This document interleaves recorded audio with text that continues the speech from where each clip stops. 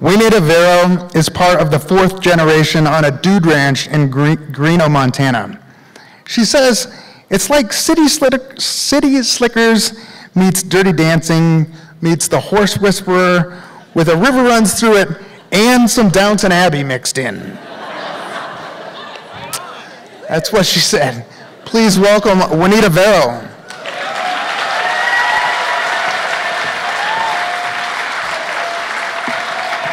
You. I live uh, uh, near the Clearwater and Blackfoot uh, confluence. Sorry, Sarah. Um, that spirish rock is apparently described in Meriwether Lewis's journals uh, after he split from Clark at Traveler's Rest. Um, you know the story. Uh, Clark heads up the Bitterroot, Lewis heads down the Bitterroot, crosses the Clark Fork, and then heads up the Blackfoot. July 3rd, 1806. Uh, a hundred years later, my great-grandparents purchased land near the confluence of the Blackfoot and Clearwater. About a year before that 1907 steel bridge was built. How many of you guys know that bridge? Yeah! Um, and uh, they created a guest ranch. And by 1925, it was up and running properly. And this is the same time period that Norman Maclean writes about in A River Runs Through It. But as a kid, the Blackfoot was just the big river. Rough water you could drown in and water you couldn't drink. Um, my little brother and I were always being reprimanded uh, about safety, not so much because our parents loved us or cared about us, but more because bad kids were unsafe and somehow misfortune and accidents were the victim's fault and more importantly, they were a nuisance to the parents. So my brother and I, we, we got the, the drowning thing figured out. That's pretty obvious. And uh, I knew no matter how thirsty I was, never to drink the water because, I mean, I'd spent many a river crossing behind a horse shitting in the water with its anus blossoming out the last bits, the turds floating mercilessly towards me and my mount. There was no way I was going to drink that stuff. One winter, one winter, the neighbor ranch had some cows fall through the ice, and their black Angus carcasses piled up in the ice jam for weeks, months actually, and then it wasn't until spring runoff when the bodies floated downstream and disappeared. And that summer, at the swimming hole, the boulders were covered in this thick, curly mats of moss that looked and felt like cowhide. I was very careful to swim around them. Even now, I don't touch those rocks. So I'm, I'm seven years old, and I'm crossing the Blackfoot uh, at Swallow Cliffs, just above the Swallow Cliffs Rapids. I'm on Kura. He's a swayback, bald-faced, red roan Arab. And I'm, I'm following my dad, who's here in the audience, over here somewhere. I'm following my dad, who's leading a group of dudes across the river. And uh, I'm feeling really confident bringing up the rear because now I've, I've been riding on my own off the lead line for two whole summers. And I'm bringing up the rear because I got to watch these dudes. Watch those dudes. My grandfather and mother's voices in my head. They don't know anything. As, as if it's their fault. I'm a, I'm a pretty humorless, no-nonsense kid, like drama, incompetence, frivolity. Like those aren't um, things that are welcomed in my family. And uh, so I'm taking this really seriously, bringing up the rear. But looking back now, I realize that I'm bringing up the rear because my horse is slow and my 18-inch long legs aren't very effective.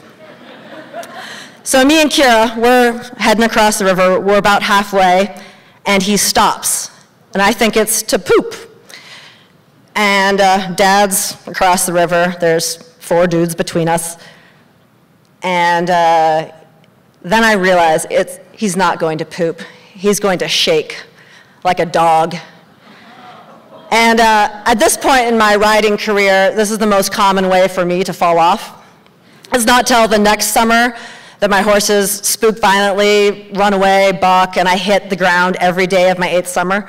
But right now, I'm seven, um, I'm I know with chilling certainty that I am going in that water.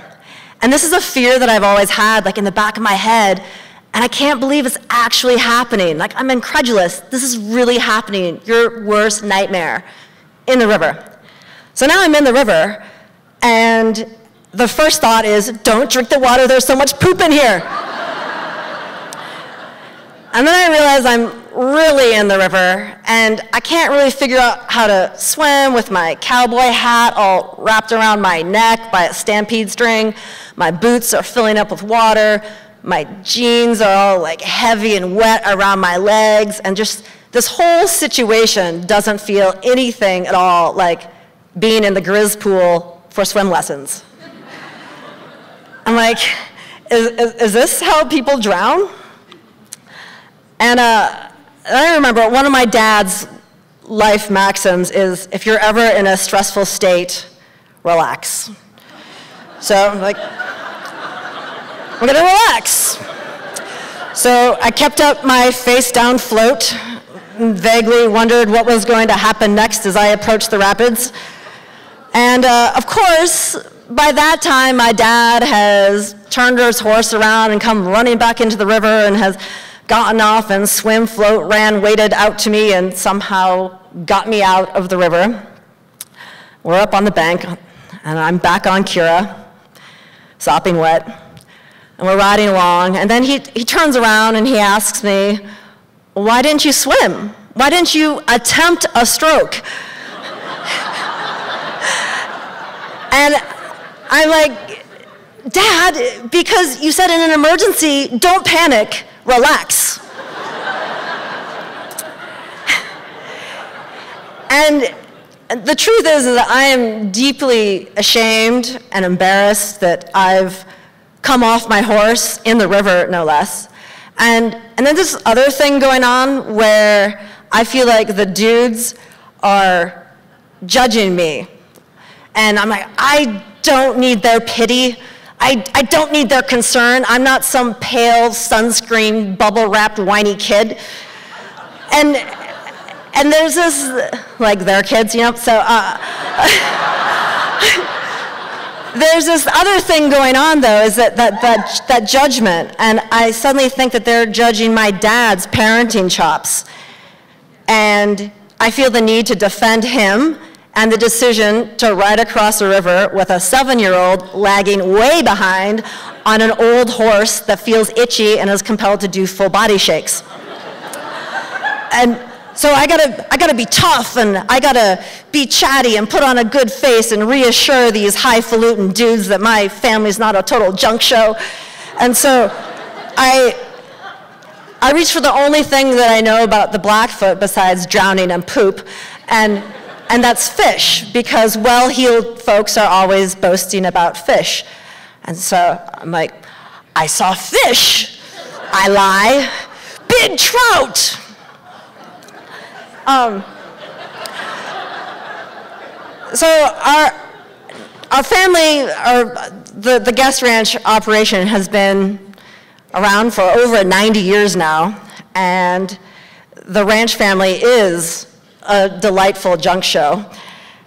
But whenever I cross at Swallow Cliffs, I make sure the weakest rider is right behind me.